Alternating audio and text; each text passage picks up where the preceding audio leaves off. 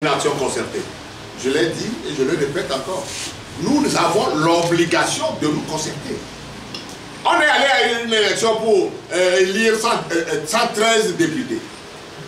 À cause des mascarades dont je vous ai parlé, on, ne nous donne que ça. On nous dit aujourd'hui que l'UNIR est tellement populaire, elle,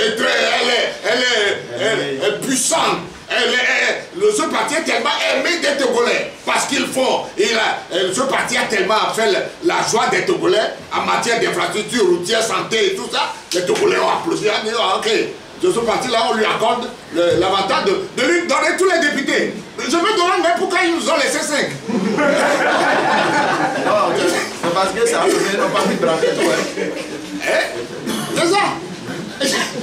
On aurait pu dire, ok, tous les autres députés, bon, ok, lui a pris. Non, c'est de la foutaise. C'est de la vraie foutaise. J'ai entendu euh, le ministre Kokoroko sur Radio Victoire euh, aujourd'hui venir se glosser. C'est pourquoi je dis que ces gens n'en ont pas la honte. S'ils ont des enfants à la maison et, qui peuvent les regarder droit dans les yeux pour leur poser des questions, ces gens-là comprendront que ils, sont, ils sont à plaindre. Ils sont vraiment à plaindre. Mais le Togo ne s'arrête pas à ces élections. Le Togo continue, le Togo ne disparaîtra pas. Mais les gens partiront, les gens disparaîtront, mais le Togo restera. C'est pourquoi nous devons travailler pour que notre pays soit sauvegardé justement de ces, de, ces bassesses-là. Nous avons l'obligation de nous reconstruire.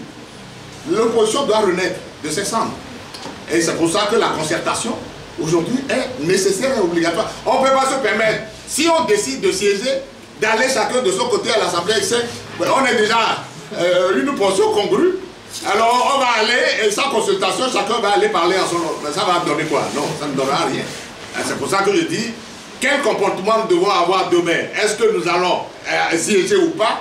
Ça doit être une, euh, quelque chose de décidé ensemble. Et si on y va, comment nous devons nous comporter? Donc, c'est obligatoire. Et ça va même sonner un déclic pour une action plus, plus euh, d'envergure au niveau de l'opposition, pas seulement au niveau des députés, mais nous devons réfléchir pour savoir comment nous faisons pour que la, la situation change. Voilà.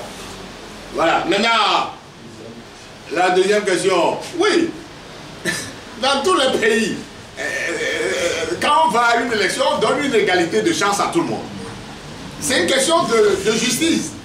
Ah, on ne peut pas aller à une élection où, lorsque votre liste est validée, et, que au moment du vote, ben, vous ne retrouvez plus votre logo. Donc les gens ne peuvent pas porter leur choix sur vous.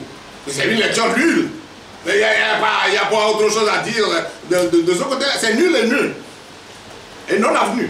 Alors maintenant, connaissant le pays, j'ai donné l'exemple dans l'heure de la Cour euh, suprême, que nous avions saisi plus tôt, au moment où on a vu sur les spécimens que notre logo n'y est pas. Mais on n'a pas reçu de réponse. Alors maintenant, euh, peut-être on fera encore le jeu de lui renvoyer la question pour dire, mais vous n'avez pas répondu la première fois. Maintenant, on vous saisit en disant, mais définitivement, on n'était pas sur la liste électorale. Mais euh, annuler les élections. En réalité, c'est ce qui doit arriver. Mais je ne sais pas comment ils répondront, comment ils feront. Nous connaissons le pays, hein, franchement.